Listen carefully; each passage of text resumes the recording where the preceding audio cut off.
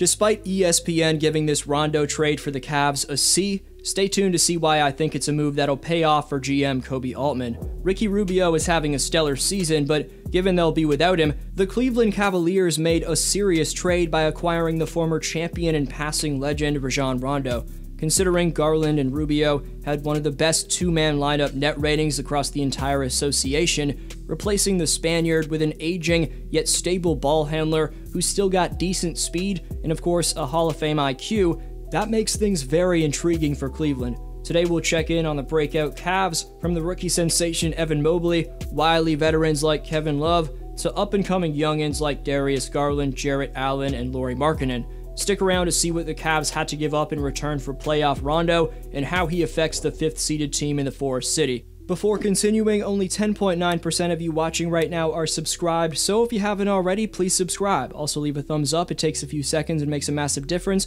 You can follow me on Instagram and Twitter at DFlowHoops, and I'll follow you back. Links in the description for both those platforms. The vid you're watching right now is the fourth Cavaliers video I've posted this season, and that's something I really didn't think I'd be saying before 2021-22 kicked off.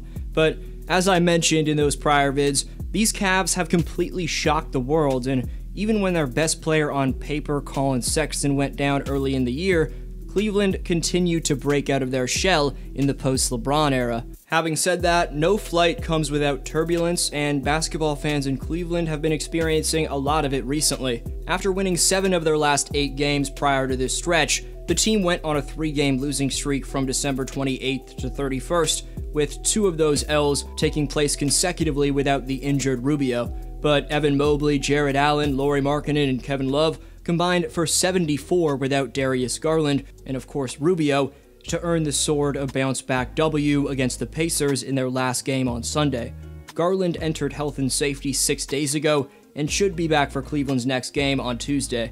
But from here on out, the Cavs aren't only going to be forced to make up for the services of Collin Sexton, who led them in scoring last season, but a player who's greatly contributed to their breakthrough campaign in the facilitating Spaniard Ricky Rubio. We're going to get to my answer for the potential concerns that people are having for aging Rondo, but regardless, GM Koby Altman deserves some respect for making such a timely pickup, as right when one of Cleveland's top passers goes down, Koby immediately swooped in to trade for the man who's 14th all time in total assists and 4th among active players. The future Hall of Famer Rondo won't offer Cleveland immediate help because he's currently subject to the NBA's health and safety protocols, having been placed in them on December 26th. However, as soon as Rondo clears, he gives the Cavaliers a veteran leader at the point. In his second tenure with the Lakers, where he helped win the NBA championship in the bubble, Rondo had seen sporadic action as a backup point guard. But can Rondo still help the Cavaliers at age 35? We're going to take a look. It was surprising that LA was willing to part ways with Rondo so quickly, but it made them the second team to trade Rondo mid-season in as many years, as the Atlanta Hawks, who signed Rajon in 2020 free agency, dealt him at last year's trade deadline. After he was moved to the Clippers, Rondo gave them a lift over the final month and a half of the 2021 regular season, over 18 games for the Clippers last year, Rajon made 58% of his two point attempts and 43% of his three pointers for the Clippers, solidifying their point guard spot behind starter Reggie Jackson. But that kind of shooting didn't carry over whatsoever to the postseason when Rondo found himself out of the rotation in the Clippers' run to the conference finals. He played just 17 minutes over their last two wins over the Dallas Mavericks in the first round and 15 total after game one against the Utah Jazz. Again, Rondo was benched during the conference finals, not seeing any action over the Clippers in the last three games. Despite giving up a second round pick to get Rondo from the Hawks at the deadline, the Clippers would move on from him in the summer as part of a deal to add Eric Bledsoe. Rondo was bought out by the Memphis Grizzlies, ultimately landing back with the Lakers. The soon to be 36 year old Rondo will have big shoes to fill, as Ricky Rubio just tragically tore his ACL but was having an extremely productive season and was fitting in perfectly with what the Cavaliers had going. The impressive young core of Cleveland Cavaliers had found a tremendous leader at point guard in Ricky. Offensively, he was in career high territory despite coming off the bench.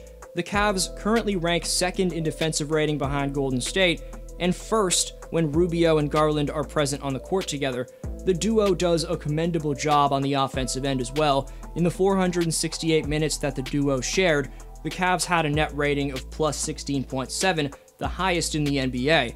The sample size of these two playing together and individually is large enough to trust the stats. Their impact is not as strong individually, but when playing alongside each other, Ricky Rubio and Darius Garland were a perfect fit. Rondo missed a ton of time on health and safety, but before that, he was averaging 16 minutes over 18 games played for the LA Lakers this season.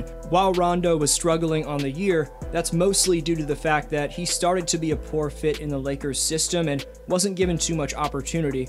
While Rondo thrived in LA during the championship run in 2019 20, as the Lakers' personnel changed with the playmaker in Talen Horton Tucker developing and Rob Pelinka signing Melo, who needs the ball in his hands, Rondo took a back seat in Frank Vogel's rotation. Conversely, the Cavs lost nearly seven dimes after Rubio went down, and the former All Star Rajon is going to be heavily trusted in Cleveland. Given he'll likely get anywhere from 20 to 30 minutes per game, Rajon's going to get a ton of reps under his belt like he hasn't been able to in many other situations in the Cavs system. That's going to allow him to find his flow offensively, and it may take some time for Rajon to adjust to Coach JB Bickerstaff's playsets, but once he does and gets into the shape he needs to be in, Rondo on the Garland and Mobley led Cavs could be scary. If you're GM Koby Altman, regardless of how Rondo plays, you have to love the mentorship that the future face of the franchise, Darius Garland, is going to be getting. First, he got to learn from Rubio, and now he gets to learn from another all time great facilitator of this generation in Rondo. Considering Garland's already proved that he can thrive next to another ball dominant guard in the backcourt, that's why, despite the concern about Rajon's age and the fact that he's been given up on midseason in back to back years, I think Rajon could end up having an impact in Cleveland. It's not like Rubio was shooting 50 plus percent from the fields, he had some big time games. In fact, he was only shooting 4 percentage points better from the field than Rondo was. Don't get me wrong, Ricky's the far more valuable player at this stage of their careers between he and Rondo.